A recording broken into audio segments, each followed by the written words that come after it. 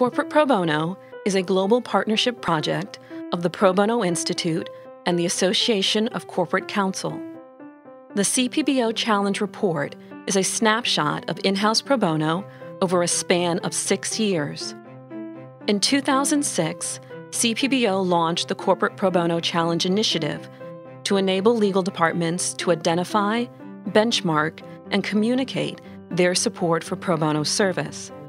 The CPBO Challenge Statement calls for chief legal officers to promote pro bono service, encourage at least 50% of their legal staff to participate in pro bono, and encourage their outside law firms to acknowledge publicly their support for pro bono.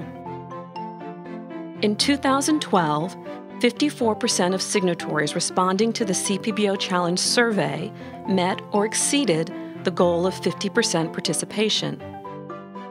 From 2007 to 2011, between 32 and 46% of responding signatories met or exceeded the 50% goal. Participation levels often vary depending on the age of the signatory's pro bono program. In 2012, participation increased with program maturity. In house pro bono is not limited to departments with formal pro bono programs. The CPBO Challenge Survey measures interaction with law firms. Since 2007, more than 50% of responding signatories partnered with outside law firms on pro bono.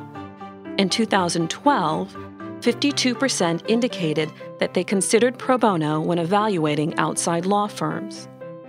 While most signatory departments apply the CPBO Challenge goals to pro bono participation by staff within the U.S., some departments have expanded their pro bono efforts to include staff in other countries. Signatories also reported participating in pro bono in more than 40 countries.